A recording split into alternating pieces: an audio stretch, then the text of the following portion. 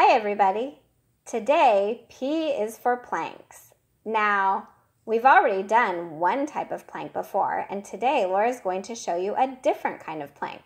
So she's going to lay down on her tummy again, and she's going to lean on her elbows and forearms. Instead of pushing herself up onto her knees, she's going to push herself up onto her toes. Do you see how you could run a car or a train underneath her body? Because she left enough space between the floor and her body.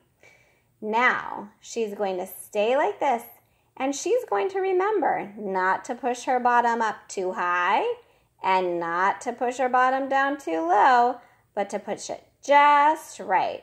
You could probably even lay a straight board across her back and she'd be able to hold it. I want you to see how long you can hold one of these special toe planks today.